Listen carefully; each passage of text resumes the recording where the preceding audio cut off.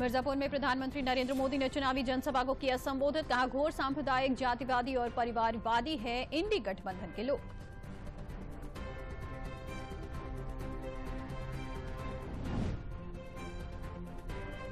गुजरात के राजकोट के TRP game zone में कल शाम लगी भीषण आग में अब तक 27 लोगों की मृत्यु के समाचार हैं। मृतकों में नौ बच्चे भी शामिल हैं। आग लगने का कारण शॉर्ट सर्किट बताया जा रहा है।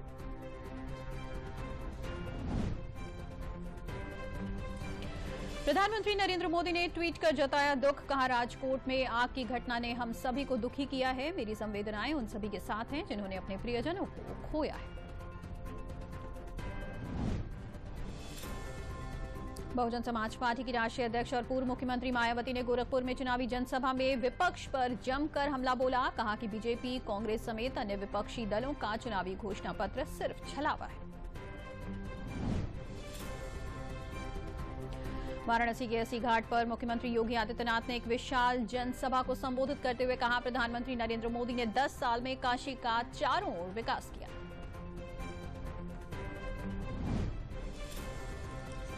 सोनभद्र में अपना दल की राष्ट्रीय अध्यक्ष अनुप्रिया पटेल ने दावा किया है कि सातवें चरण के बाद इंडी गठबंधन चारों खाने चित हो जाएगी, क्योंकि मोदी जी के नेतृत्व में तीसरी बार सरकार बनने जा रही है।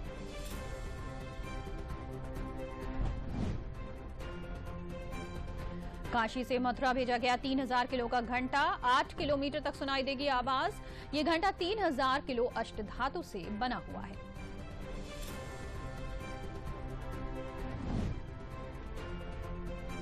पीएम ने बाराबंकी के अभय चांदवासिया को लिखा पत्र। साथ ही अभय के जज्बे की खूब तारीफ़ की। पीएम मोदी ने अपने पत्र में लिखा कि आपके स्वास्थ्य के साथ साथ विभिन्न विषयों पर रचित कविताओं के बारे में जानकारी मिली।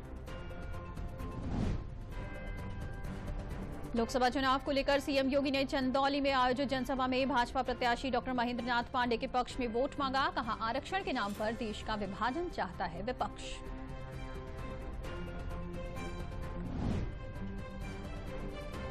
राष्ट्रीय महासचिव प्रियंका गांधी ने केंद्र सरकार पर जमकर हमला बोला। कहा, यह सरकार मुद्दों पर बात नहीं करती ये सिर्फ़ जनता को गुमराह करती है।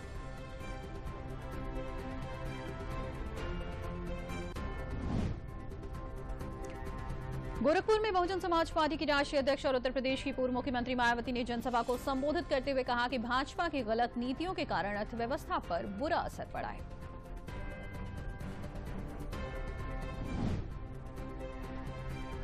सैंड आर्ट के ज़रिए चंदौली के बलुआ में मतदाताओं को मतदान के लिए किया गया जागरूक। जागरूकता अभियान में उपस्थित लोगों को मतदान की शपथ दिलाई गई।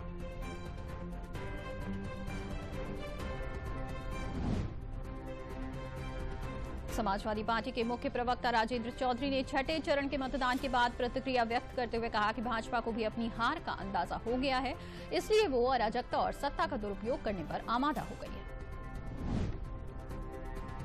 बुलंदशहर में मिठाइयाँ बनाने की फैक्ट्री पर छापेमार कार्रवाई की गई, जहाँ मौके पर बिना दूध के मिल्क केक बन रहा था।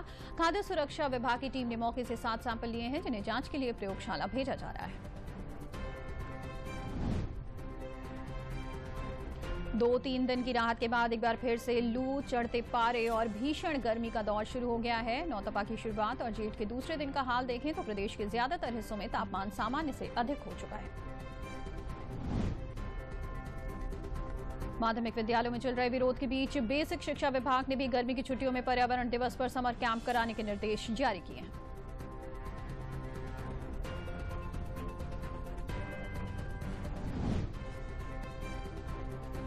उत्तर प्रदेश राज्य विद्युत उत्पादन निगम की ओबरा और निजी क्षेत्र की ललितपुर की इकाई से विद्युत उत्पादन शुरू हो गया है, जबकि अनपरा में अभी इंतज़ार है। इस बीच टांडा की भी 110 मेगावाट की एक यूनिट में उत्पादन बंद हो गया।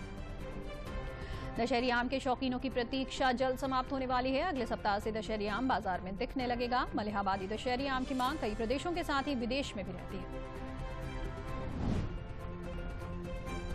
शाहजहांपुर में श्रद्धालुओं से भरी बस हादसे का शिकार हो गई, जिसमें 11 यात्रियों की दर्दनाक मौत हो गई। इस हादसे में बस में सवार लगभग 10 यात्री घायल हो गए